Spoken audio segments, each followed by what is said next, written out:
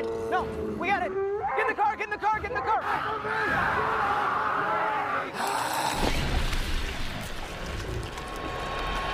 Halo pecinta film zombie, gimana kabarnya? Mimin harap kita semua dalam keadaan sehat.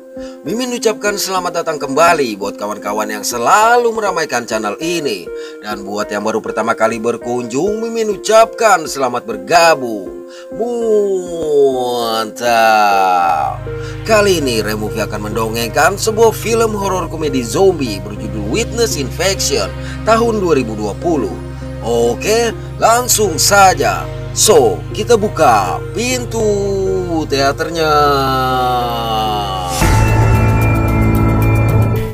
Suatu sore di sebuah hutan, dua orang pemburu bernama Ben dan Pauli tengah mengintai hewan buruan dari dalam tenda. Dikarenakan sosis dalam makanan bernama tablioni yang dimakan oleh Pauli sangat bau, terlebih Pauli tiba-tiba kentut, maka Ben memutuskan keluar dari dalam tenda. Sepeninggalan Ben, sakit perut yang dialami Pauli semakin menjadi-jadi. Mendengar teriakan Pauli, sontak Ben segera kembali mendatangi tenda. Namun dia sempat tersentak mendapati tenda mereka sudah hancur. Sejurus kemudian dia dikejutkan lagi oleh suara seekor rusa. Melihat mangsa tersebut, maka Ben mencoba membidiknya. Naas bersama dengan itu, Pauli yang sudah menjadi zombie tiba-tiba berdiri di samping Ben dan langsung menyerang dia. beralih ke sebuah tempat perawatan anjing yang dikelola oleh dua orang bernama Carlo dan Gina. Di sana ada juga rekan mereka bernama Vince yang merupakan pemilik sebuah restoran dan sangat terobsesi untuk membuat film. Tidak berselang lama, seorang pria bernama Dominic yang merupakan kakak dari Carlo datang. Dengan gaya sangat tidak menyenangkan, dia berkata kepada Vince bahwa semua orang di kota sedang tergila-gila dengan Tablioni, sehingga bisa menyebabkan restoran Vince kehilangan pelanggan. Tapi kangkuhan Dominic ini langsung pupus ketika seorang pria bernama Sereli datang. Jadi Sereli adalah ayah dari Dominic dan Carlo.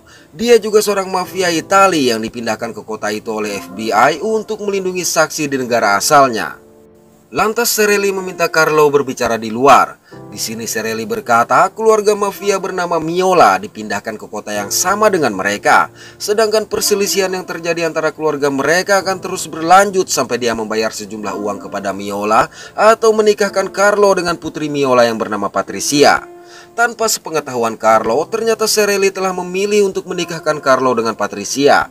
Sereli juga memberitahu bahwa Miola tidak bersedia menikahkan Dominic dengan Patricia, kendati tahu kalau Dominic dan Patricia berpacaran.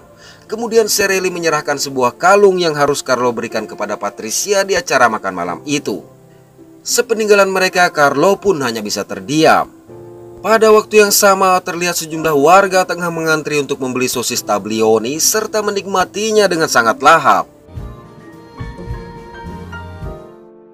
Di malam hari akhirnya Carlo menghadiri acara makan malam yang dipenuhi menu sosis tablioni di rumah sang ayah. Tentunya di sini hadir juga wanita bernama Patricia yang akan dilamar oleh Carlo. Ketika mereka mulai makan, Carlo hanya terlihat merenung tanpa menyentuh makanan sedikit pun. Sampai Sereli menegur dia untuk memberikan kalung kepada Patricia. Namun kalung sakral turun-temurun yang hanya boleh diberikan kepada calon istri ini justru langsung direbut oleh Dominic. Parahnya, Dominic yang merasa pacar Patricia juga mencium wanitanya tersebut. Melihat kelakuan mereka, tentu saja Carlo yang memberikan kalung dengan sangat terpaksa menjadi semakin geram dan mengungkapkan kalau dia tidak mencintai Patricia serta menolak perselisihan dalam keluarga mendikte sisa hidup mereka. Carlo juga menegaskan bahwa hanya akan menikahi seorang wanita karena cinta bukan karena perjodohan. Mendengar itu, sontak Patricia yang merasa dipermalukan pergi untuk menghubungi sang ayah. Dengan kekacauan yang terjadi, Sereli memerintahkan Carlo mendatangi Miola dan memberitahu kalau dia tetap akan menikahi Patricia. Tapi lantaran Carlo bersikeras menolak, terpaksa Sereli menjelaskan kalau pernikahan ini harus dilakukan atau kelompok Miola akan menghabisi Dominic. Gonna kill Dominic. Ceritanya satu bulan yang lalu, Dominic terlibat perkelahian di sebuah bar bernama Sisi yang menyebabkan cucu dari Miola tewas. Sebagai mafia, Miola masih memegang teguh aturan nyawa dibayar nyawa. Jadi tidak akan pernah melepaskan Dominic sampai perjanjian damai yang dilakukan dengan pernikahan dilangsungkan. Setelah menikah nanti, Carlo juga diminta untuk berhenti dari usaha perawatan anjing yang dia kelola bersama Gina. Mendengar itu, meski sangat keberatan, akhirnya Carlo menyetujui perintah sang ayah. Sebelum berangkat, Sereli membekali Carlo dengan senjata dan sebuah cincin. Dari rumah, Carlo menemui Gina untuk memberitahukan hal tadi serta berpamitan. Mendengarnya Gina sempat terdiam. Lantas dengan beralasan akan membantu, maka Gina memutuskan ikut dan mengajak Carlo menjemput Vince terlebih dahulu agar Vince bisa merekam semua kejadian jika terjadi hal yang tidak diinginkan. Now. Di restoran, Vince tengah berdebat dengan rekannya yang memaksa dia mencicipi sosis tablioni yang dia anggap sampah. Selang beberapa saat, mereka datang menjemput Vince. Saat membuang sampah, Vince tidak menyadari kalau ada sesosok zombie yang bersembunyi di bak sampah. Dalam perjalanan mereka berniat untuk mencari minum terlebih dahulu di sisi bar. Namun akibat melihat sekelompok orang yang mengamuk di kedai penjualan sosis tablioni yang berada di dekat bar, akhirnya mereka membatalkan niat untuk berhenti. Yang tidak mereka ketahui adalah orang-orang tersebut sudah menjadi zombie. Manakala perjalanan dilanjutkan, tiba-tiba mobil mereka menabrak sesuatu. Beralih ke rumah Sereli, terlihat anggota keluarga mulai mengalami sakit perut dan muntah. Sementara Dominic akhirnya berhasil membujuk Patricia untuk membukakan pintu toilet. Di sudut ruangan lain, sebuah tangan mengerikan secara perlahan muncul menarik seekor anjing. Pada waktu yang sama, mafia bernama Miola tengah menerima laporan dari Patricia tentang penolakan Carlo. Mendengarnya Miola berjanji akan mengatasi masalah itu. Lalu dia memerintahkan dua anak buahnya agar mengirimkan dua orang pembunuh untuk menghabisi semua keluarga Sereli. Di sini terlihat juga mereka mengalami sakit perut setelah menikmati sosis tablioni. Kembali pada kelompok Carlo, Tatkala keluar melihat apa yang ditabrak, mereka begitu histeris mendapati seekor rusa yang sudah dikuliti dan buntung. Hal ini membuat Carlo penasaran lantaran tidak mungkin tabrakan tadi menyebabkan rusa tersebut menjadi seperti itu. Selang beberapa saat, Carlo mendengar suara. Tidak jauh dari mobil, dia menemukan dua orang pria tengah memukbang potongan tubuh rusa tadi. Ternyata kedua orang ini adalah Ben dan Pauli yang sudah menjadi zombie. Melihat mereka berdiri mendekat, maka dengan cepat Carlo memerintahkan yang lain segera masuk ke mobil dan meninggalkan tempat tersebut walaupun masih penasaran apa yang menyebabkan kedua orang tadi memakan rusa mentah-mentah. Beberapa waktu berlalu mereka sampai di kediaman Miola. Sebelum turun dari mobil, Carlo meminta mereka meninggalkan dia. Sayang melihat Carlo yang mengambil senjata, tentu saja Gina menolak dan berkata jika Carlo tidak kembali dalam 20 menit, maka mereka akan datang menyelamatkan dia. Alhasil Carlo pun terpaksa meninggalkan mereka di mobil. Namun setelah melihat kediaman Miola yang begitu megah, Carlo berubah pikiran dan meminta mereka menyelamatkan dia dalam waktu 15 menit. Okay, you guys can save me. And make that 15 minutes. Di dalam Carlo disambut oleh dua orang pria yang langsung menggiring dia ke hadapan Miola. Di mobil, belum beberapa menit Carlo meninggalkan mereka. Gina sudah merasa sangat gelisah dan tidak sanggup lagi menunggu, sehingga memutuskan keluar tanpa menghiraukan larangan dari Vince. Bersama dengan itu, istri sang mafia yang baru saja pulang berbelanja datang. Melihat mereka, dia menyangka Vince adalah Germo, sedangkan Gina adalah wanita panggilan sang suami, sehingga menjadi sangat marah. Ketika wanita itu pergi, mereka memutuskan masuk membawa mobil mengikuti dia. Di hadapan Carlo, Miola langsung berceramah atas penolakannya terhadap Patricia tanpa memberikan dia kesempatan untuk berbicara. Oleh sebab itu, terpaksa Carlo memotong ceramah dan memberitahu kalau dia ingin menikahi Patricia. Malang Miola tidak percaya. Sementara Gina dan Vince yang mencoba menyusup terhenti melihat seorang penjaga. Tidak memiliki pilihan lain, akhirnya Gina mencoba mengalihkan perhatian penjaga itu. Sialnya hal ini justru menambah kecurigaan Miola sehingga memerintahkan anak buahnya untuk meringkus mereka semua. Selang beberapa waktu mereka pun siuman dalam kondisi terikat di kursi. Di sini dengan kulit mulai melepuh, Miola berkata mereka bertiga akan mati malam itu. Tapi tiba-tiba anak buah Miola yang sudah menjadi zombie datang menyerang dia dari belakang.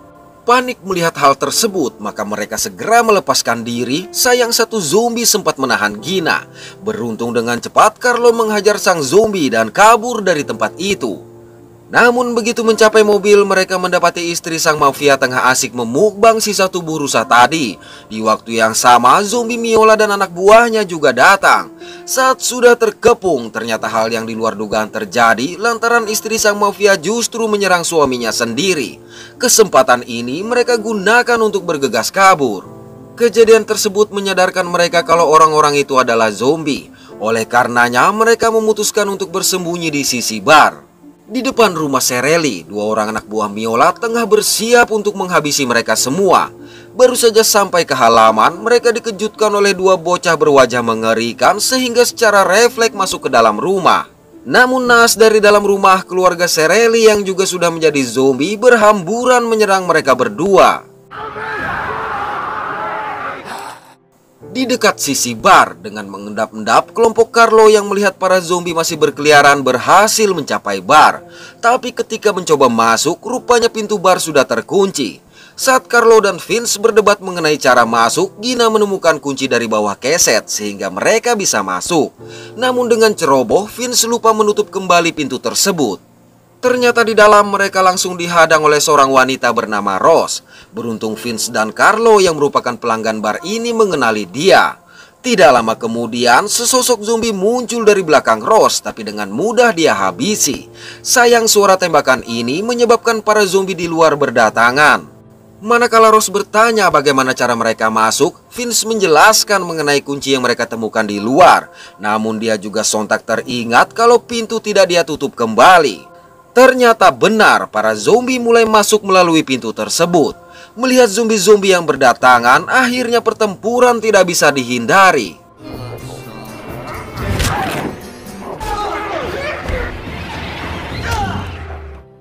Selesai baku hantam sengit tadi, Rose memberitahu kalau orang-orang tersebut berubah menjadi zombie setelah menyantap sosis tablioni. Mendengar itu, Carlo teringat bahwa keluarganya di rumah juga menyantap sosis yang sama.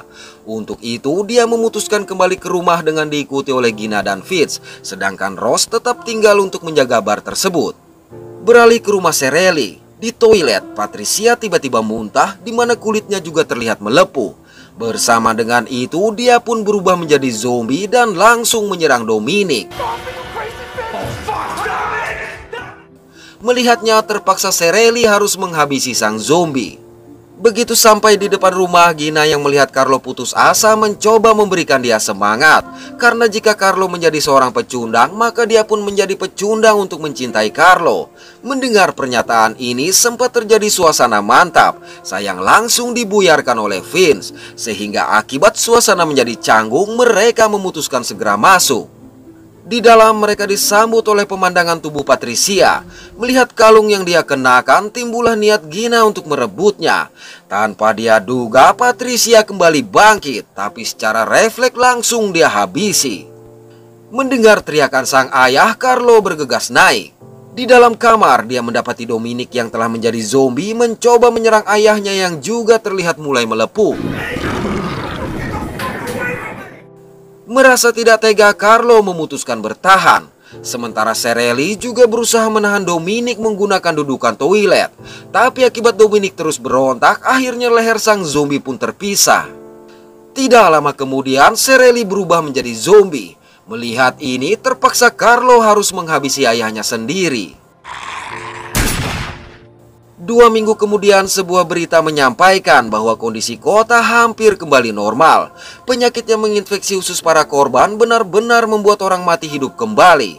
Tim forensik mengungkapkan bahwa berdasarkan gigi yang ditemukan, sumber infeksi berasal dari kontaminasi jenazah seorang mafia bernama Vito Morelli yang digiling menjadi sosis tablioni. Hanya saja tersangka belum ditetapkan. Sementara itu Vince menjadi terkenal akibat video rekaman yang dia buat. Dia juga mempromosikan restorannya yang masih menyajikan sosis daging organik dan dijamin tidak terkontaminasi daging manusia.